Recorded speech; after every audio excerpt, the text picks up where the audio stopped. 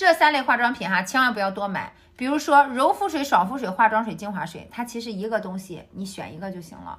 乳液、面霜买一个也行了。油皮直接选乳液，干皮直接用面霜，它就是一个浓一点，一个稀一点，有啥不一样的？再就是精华液、基底液，还有什么原液、安瓶、什么前导精华，这些全部所有的都是一个东西，就是商家编出来很多词儿来卖你很多样而已。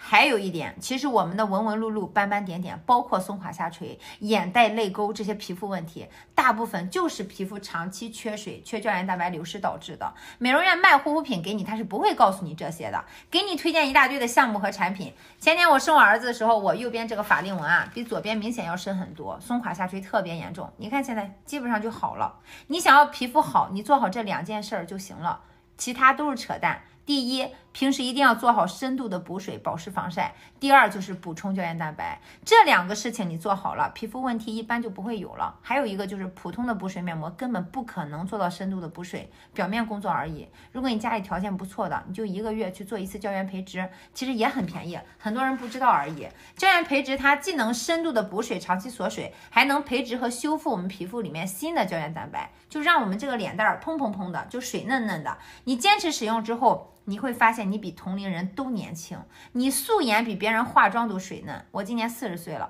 这也是我比同龄人年轻十岁的秘密。